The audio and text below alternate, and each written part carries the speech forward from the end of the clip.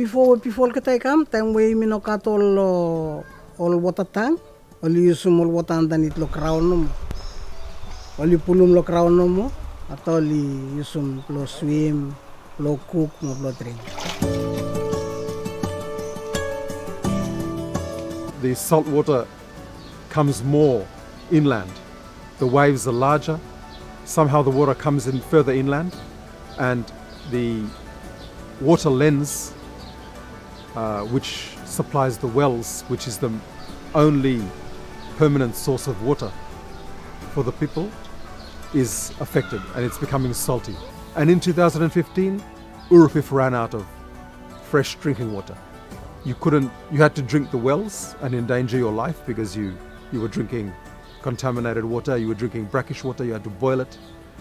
All the rainwater tanks ran dry because of the extended dry period and it was at that point that we realized on Uripiv that we couldn't continue without a permanent source of safe clean drinking water a Moerk desalination plant was installed on the island at the clinic along with the solar panels and in 2008, that project was launched.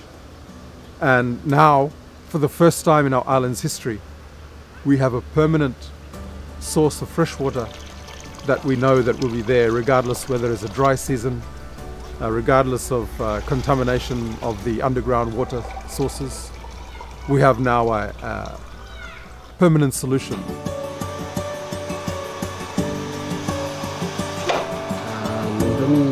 Oligaria.